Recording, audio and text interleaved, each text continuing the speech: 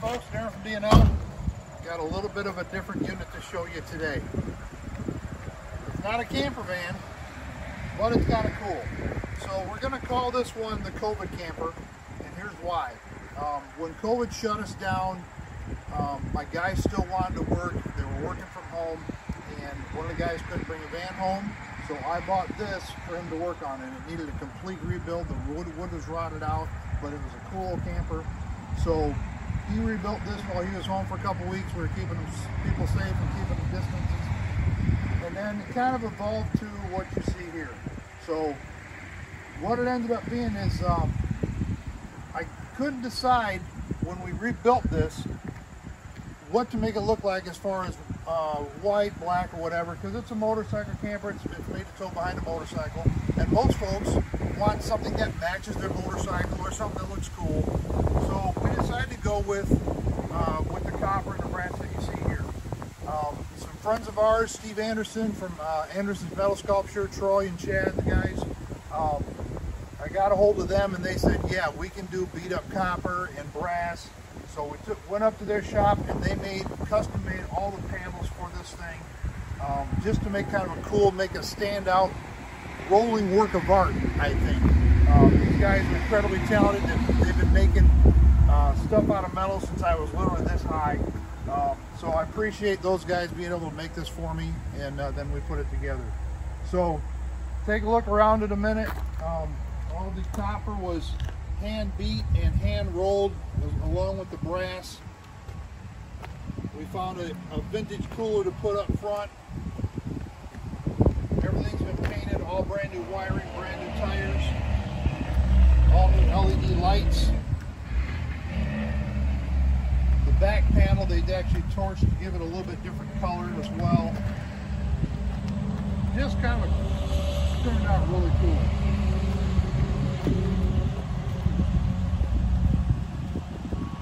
So this would look good behind any motorcycle that you drive or any little car. Looks good behind Sarge, but I'm not keeping it.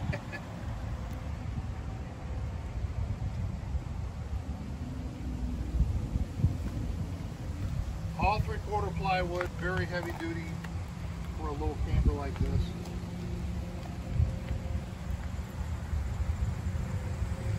And then what we're gonna do is we're going to set it up. We'll do a time-lapse video of getting it set it up, getting it set up. And then, uh, then we'll take a look at the inside. Be surprised how big this thing gets. So.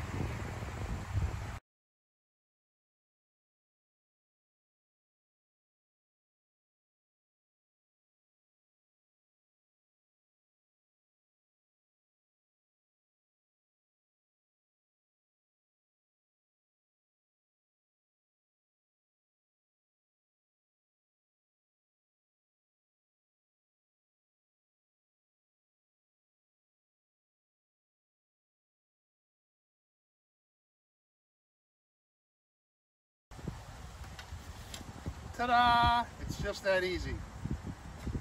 So that's what it takes to put it up. We'll give you a quick lap around the outside. It's actually very roomy inside. It's, it's uh, you can sleep. This is the bedroom area over here. The middle part is the dinette, and that would be your living area dance hall on the left-hand side.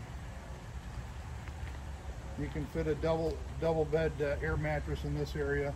You can actually sleep two in the floor if you need a bigger queen size area. You can put a, a big double uh, air mattress on the floor inside there if you want to sleep on that too. So you could sleep four if you wanted to.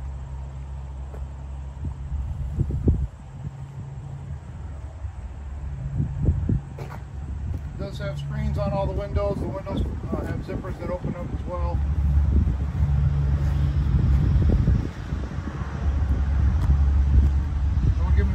inside.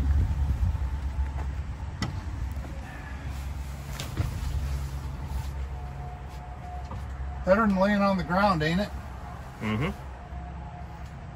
So air mattress goes in here. Dining room table. This is all brand new finished wood. They stained that. Looks really cool. All new wood floor. All new flooring inside. This flooring's been stained. Um, we're we're gonna redo the cushions, but they were so nice that we just kept the original cushions in here.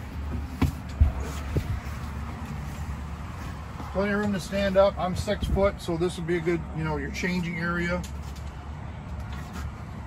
TV, wet bar over here, you know, La-Z-Boy here. So it's really very versatile. so yeah, that's it. That's kind of the quick tour. Uh, this is going to go on eBay. We're going to put this on eBay, sell to the highest bidder. Um, probably in about a week or so. Um, but wanted to get the video out for it so we can kind of show it off first. So thanks to all my guys. Thanks for Gideon who built this thing and, and Anderson's metal sculpture who did the, the outside, which is beautiful. Zach, cameraman, that's about all you did on this, ain't it? Yeah. Yeah, you didn't do much. So um, we got great guys that work here and just, just glad that they're able to be versatile with us and help us all through this COVID thing as well. So uh, thanks for looking at it and talk to you later. I'm out.